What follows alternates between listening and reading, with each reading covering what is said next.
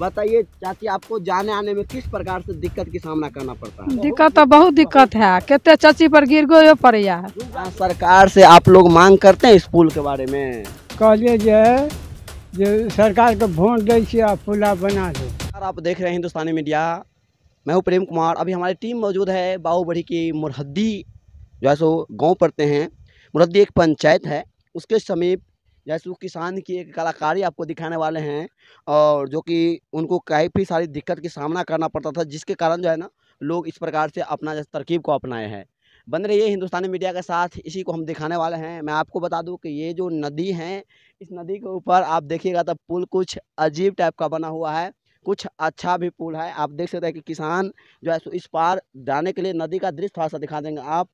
और मैं आपको बता दूँ कि ये जो नदी है, इस पर पुल आपका जो है ना मतलब पुल नहीं था तो किसान अपना जैसे दिमाग लगा करके, अपना तरकीब लगा करके इसके ऊपर पुल बनाया है। और ताकि जो है सो, वह जो है सो, कम समय में हमें डर लग रहा है कि पुल अगर डैम में टूट जाए तो हम नीचे जा सकते हैं। इसीलिए थोड़ा सा डर भी लग रहा है, लेकिन फिर भी आपको दिखाने का हम प्रयास कर रहे हैं। ये जो पुल आप देख रहे हैं, ये पुल आपको मिलेगा देखने के लिए। और ये जो दृश्य हैं, ये दृश्य आपको कहीं ना कहीं जैसे वो एक तरह से कह सकते हैं कि किसान की कलाकारी है।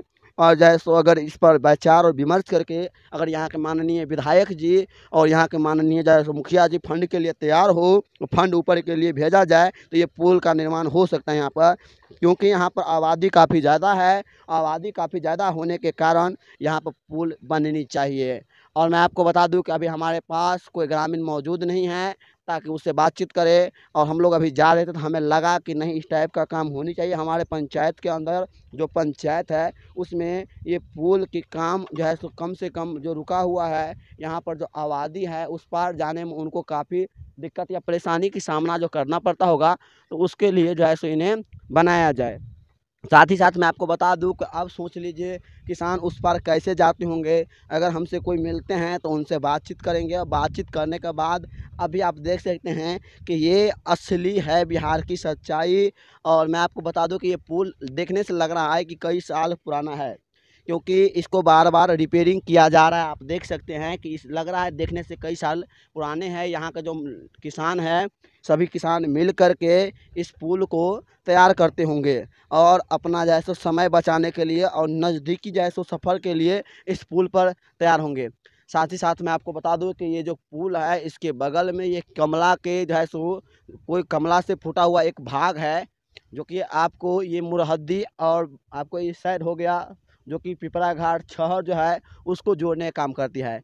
तो बने रहिए हमारे साथ हिंदुस्तानी मीडिया के साथ। अभी हमारी टीम मौजूद है बाहुबली के क्षेत्र में। बातचीत करते हैं और उनसे कुछ बात करके दादा एक मिनट रुकिए तो।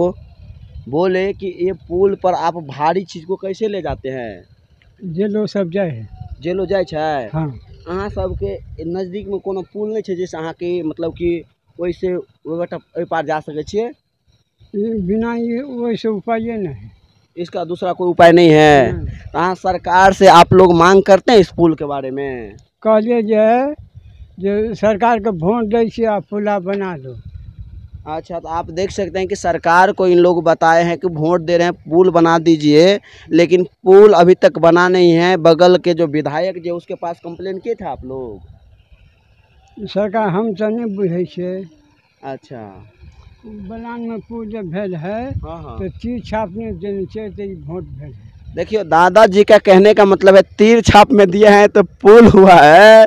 तो माननीय तीर छाप महोदय जी थोड़ा सा इन पुल पर भी एक बार ध्यान दीजिए। ये जो पुल है पीछे का एक बार दृश्य दिखा दीजिए हमारे जो है सो जनता जनार्दन को। ये पुल है। हाँ छपरा है। छपरा है। तो माने घर दुआर सब उस साइड घर है उस साइड लोगों का घर है उस साइड के आलू को इधर आने में काफ़ी दिक्कत की सामना करनी पड़ती है।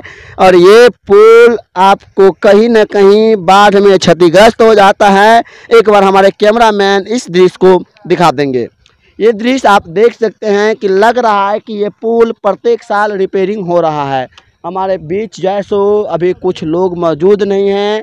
जैसे कुछ लोग मौजूद होंगे उनसे बातचीत करेंगे और इस पुल के लिए जैसो हम लोग सरकार से निवेदन भी करेंगे कि ये पुल बननी चाहिए, बहुत ही जल्द बननी चाहिए।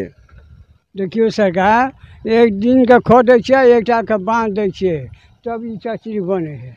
आप देख सकते हैं कि चाचा का कहना है कि एक दिन के काम करते हैं एक दिन की जो मजदूरी है हमारे यहाँ वो तीन से चार सौ रुपया है और एक बाँस देते हैं हम लोग इसमें। और एक इसको कितने दिन पर रिपेयरिंग करना पड़ता है? इसको बना मतलब कि मदद तो एक साल पे दादाजी थोड़ा सा आप इस साइड आ जाएँगे। दादाजी से कुछ बातचीत करते हैं हमारे साथ बने रहिए। और दादाजी इस पुल के बारे में आप क्या कहेंगे? पुल सरकार दूटा बड़द डूबि गेलै, दूटा आदमी डूबि गए आ पुल कठपुला दऽ कऽ अगहनमे सभटा खेत पर है भगा बुझलियै। हे?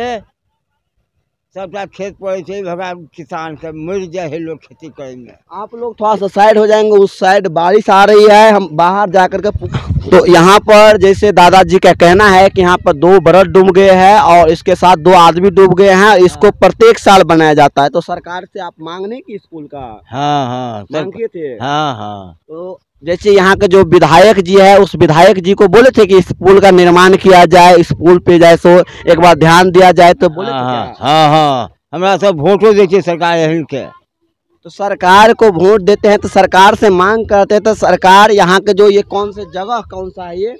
बेला बक्साही चनदी मनादी लपटोली सटाही दऽ पार हो गई सरकार आप देख सकते हैं कि बेला बक्साही एक मिनट चाची यहाँ पर बेला बक्साही और भी बहुत सारे गाँव को ये जोड़ने वाली जो है सो हाँ, नदी है हाँ। और यहाँ पर पुल नहीं है हाँ। ये है बिहार की असली सच्चाई बताइए चाची आपको जाने आने में किस प्रकार से दिक्कत की सामना करना पड़ता है? दिक्कत तो बहुत दिक्कत है। केते चाची पर गिर गयो गेलै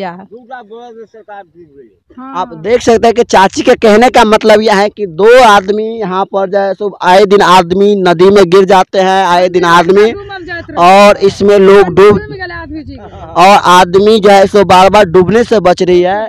तो यहाँ पर आप बताइए कि सरकार से आप लोग एकजुट होकर के मांग क्यों नहीं करते इसके बारे में? तो हम कहते ई सब? तो आप लोग भी आप लोग भी जो है? सो यहाँ पर जो है सो आप लोग चलते हैं इस पुल के ऊपर तो सरकार से एकजुट होकर के मांग करें इस पुल के। हम आपके साथ खड़े हैं और इस पुल के निर्माण होने में इस पुल के निर्माण करवाने में हिंदुस्तानी मीडिया का अहम हाथ रहेगा। बन रही हिंदुस्तानी मीडिया के साथ इसी प्रकार से खबरें के लिए तब तक के लिए जय हिंद जय बिहार। आप हमारा चैनल YouTube पे देख रहे हैं तो चैनल को सब्सक्राइब कर दें और बेल आइकॉन को दबा दें ताकि लेटेस्ट न्यूज़ आप तक पहुँचती रहे। अगर आप हमारा चैनल Facebook पे देख रहे हैं तो चैनल को फॉलो कर दें और लाइक कर दें।